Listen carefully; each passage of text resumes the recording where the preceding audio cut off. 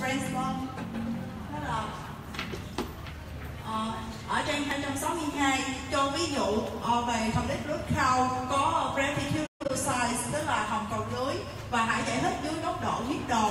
Vậy thì hôm nay đó là ở cái uh, chủ đề này thì chúng ta sẽ làm rõ hai vấn đề. Đầu tiên là mình sẽ giới thiệu sơ lược cho các bạn biết về viết đồ và cái thứ hai là sẽ giải thích cho các bạn biết tại sao trong trong cái máu uh, lại có chứa um, reticular Um, như các bạn đã biết thì uh, công thức máu nó là một cái uh, xét nghiệm thường quy thường được sử dụng trong các uh, phòng uh, xét nghiệm y học. Từ đó thì uh, chính cái công thức máu này nó sẽ um, giúp cho uh, cung cấp cung cấp cho bác sĩ những cái uh, thông tin uh, cần thiết về tình trạng máu um, học đầu trong máu của bệnh nhân. Từ đó giúp cho bệnh nhân có giúp cho bác sĩ có được những uh, chẩn uh, đưa ra những cái định hướng những cái chẩn đoán về uh, một số bệnh đặc biệt là các bệnh liên quan đến máu. Đầu tiên là chúng ta hiểu về hemogram um, hemogram nó còn được biết như là một uh, um, CBC đó là complete blood count đó là huyết đầu uh, ờ, đây là đây là chính là khái niệm.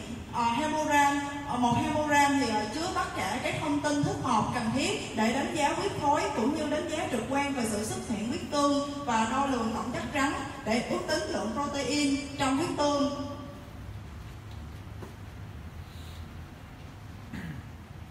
Um, gồm các nhóm của hemogram thì gồm có bốn nhóm đầu tiên là erythrogram tiếp theo là leukogram rhombogram cuối cùng là plasma erythrogram đối với erythrogram thì uh, chúng ta sẽ ờ, có biết được những cái ờ, đó là những thông tin như là về ờ, số lượng của tế bào hồng cầu, red blood cell. Như các bạn đã biết, bình thường thì trong máu của chúng ta, đó là có số lượng hồng cầu là khoảng từ 4 triệu đến 5 triệu trên 1 mm khối máu. Rồi còn chúng ta còn biết được đó là dung tích hồng cầu hematocrit hay gọi là hệ tích hồng cầu lắng động.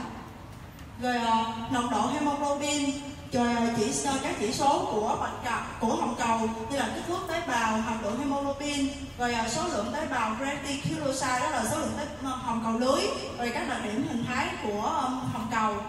Đây là một cái ờ, và đây là một cái ờ, bảng kết quả về aerogram.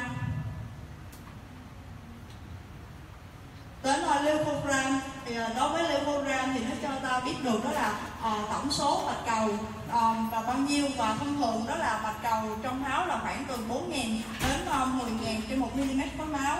Rồi uh, cái đặc điểm hình thái của uh, bạch cầu và và nó bao gồm luôn cả sự hiện diện của các ký sinh trùng. Và nó còn cho chúng ta biết được phần trăm của từng loại bạch cầu. Ví dụ như là Ờ, uh, bạch cầu đa nhân trung tính đó là neutrophil đó là 66 phần trăm. Bạch cầu đa bạch cầu đa nhân ưa là nó chiếm khoảng từ 9 tới 11 phần trăm. Và bạch cầu đa nhân ưa bao giờ là khoảng từ 0 đến 0 đến 5 phần trăm. Bạch cầu mono 2 đến 2,5 phần trăm. Bạch cầu lympho là từ 20 đến 25 phần trăm. Đến thrombogram Romogram thì nó sẽ cho ta biết được số lượng tiểu cầu và kích thước và nó còn và nó có thể giúp cho chúng ta là ước tính được số lượng của các tiểu cầu từ vết mỡ máu.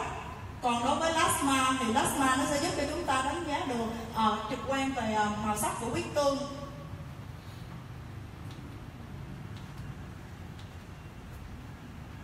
Và để tạo nên một hemogram thì chúng ta cần làm những test sau đo đếm tế bào chỉ số của hồng cầu. Đo các chỉ số tiểu cầu. Và cuối cùng là làm xét nghiệm máu. Về phần đo đếm tế bào thì sẽ đo bao gồm có là à, tế bào về tế bào hồng cầu thì gồm có là dung tích của hồng cầu. Như các bạn đã biết đó là hemoglobin à, ờ, nó ký hiệu là HCG hay là PCV à, ờ, PCV này cũng chính là à, dung tích hồng cầu viết tắt của từ là bucket cell volume còn về nó cho, nó còn cho ta biết được số lượng của hồng cầu và nồng độ hemoglobin và hồng cầu lưới. Còn ờ, về bạch cầu qua nước cell thì ờ, nó cho ta biết được là ờ, tổng số tổng số bạch cầu trong máu. Về tiểu cầu thì cũng tương tự, đó là tổng số lượng của tiểu cầu trong máu. Đo tiếp theo là đến đo các chỉ số của hồng cầu.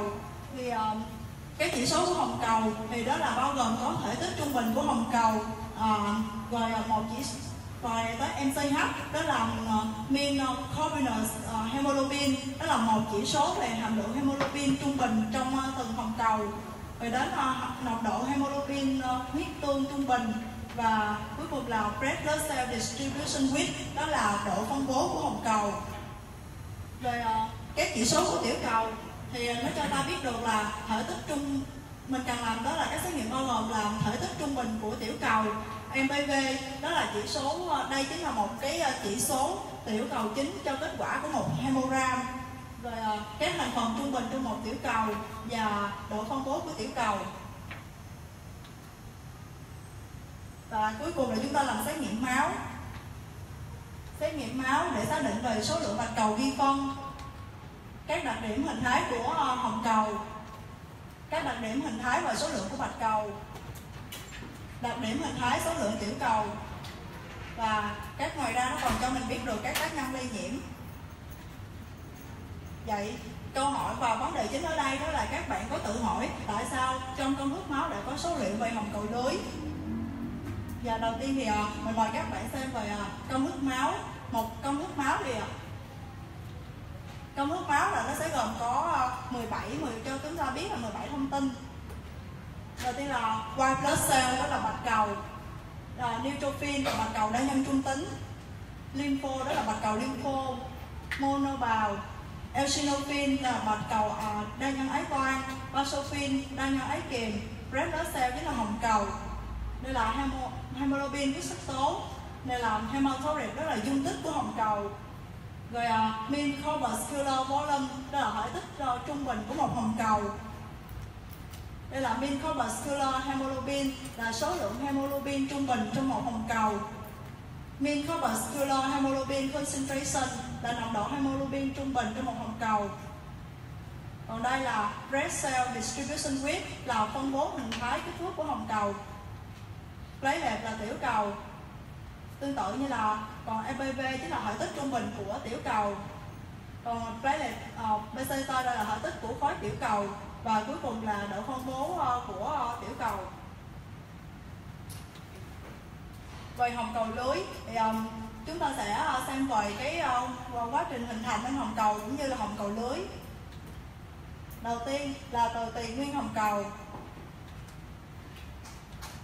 Nó sẽ biệt hóa um, để thành nguyên hồng cầu ưu kiềm rồi đến nguyên hồng cầu đa sắc tiếp theo nguyên hồng cầu đa sắc nó sẽ hình thành nên nguyên hồng bị hóa thành nguyên hồng cầu ưa axit và đây từ nguyên hồng cầu ưa axit thì nó sẽ bị hóa thành uh, hồng cầu lưới. Hồng cầu lưới đời sống trung bình của nó là khoảng từ 24 đến 48 giờ. Sau đó hồng cầu lưới nó sẽ loại nhân để nó trở thành ờ, hồng cầu hồng cầu trưởng thành và đi vào ờ, vòng đại tuần hoàn và hồng cầu lưới. Hồng cầu lưới thì đó là một hồng cầu ờ, trẻ vừa trưởng thành từ nguyên hồng cầu ái toan đây là nguyên hồng cầu axit trong quá trình ờ, sinh hồng cầu và hồng cầu lưới nó chính là một dạng chuyển tiếp giữa hồng cầu non uh, trong tủy xương và hồng cầu trưởng thành ở máu ngoại vi. Và hồng cầu lưới này nó chính là giai đoạn việt hóa và trưởng thành cuối cùng của hồng cầu trong tủy xương trước khi nó đi vào vòng đại tuần hoàn.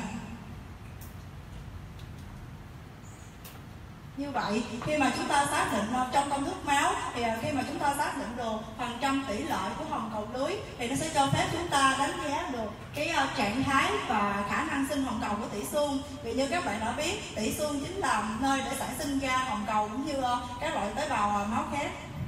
Rồi qua, nên từ đó thì chúng ta, nó sẽ phản ánh được cái mức độ sản xuất hồng cầu là nhanh hay chậm cho biết thủy xương đã đáp ứng như ờ, như thế nào ờ, trước sự thiếu máu của cơ thể.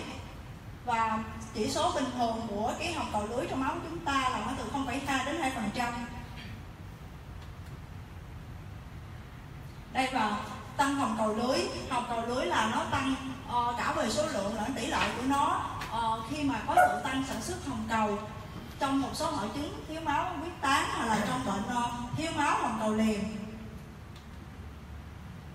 à, đây là một ví dụ về bệnh ờ, uh, thalassemia à, ờ, như các bạn đã biết bệnh thalassemia nó là một bệnh uh, um, có di truyền và nó do đột biến um, gen quy định cái việc sản xuất hemoglobin. Mà các bạn biết đó, hemoglobin nó là một cái thành phần chính của hồng cầu giúp uh, chiên chở oxy. Nên khi mà có một cái sự uh, rối loạn uh, sản xuất hemoglobin trong tủy xương thì nó sẽ uh, làm cho những cái hồng cầu đó, khi mà nó đi uh, máu ngoại vi thì nó sẽ uh, no, nhân nhân no nhân tan như là dễ bị táo huyết nên gây ra tình trạng thiếu máu. Mà khi mà chúng ta bị thiếu máu đó, thì cơ thể chúng ta đáp ứng lại bằng cách đó là um, tăng sản sinh hồng cầu tức là đồng nghĩa với việc đó là tăng cái uh, số lượng hồng cầu lưới. Rồi uh, về uh, giảm giảm hồng cầu lưới giảm trong một số trường hợp như là suy tủy há trị liệu và là thiếu máu ác tính.